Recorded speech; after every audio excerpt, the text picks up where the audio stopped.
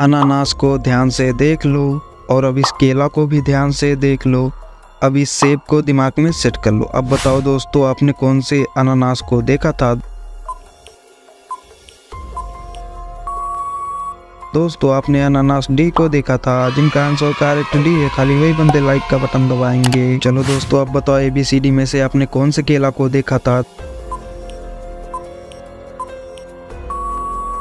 दोस्तों, आपने केला सी को देखा था, जिनका आंसर करेक्ट सी है, खाली वही बंदे सब्सक्राइब का बटन दबाएँगे। चलो दोस्तों, अब कमेंट में बताओ एबीसीडी में से आपने कौन से सेब को देखा था?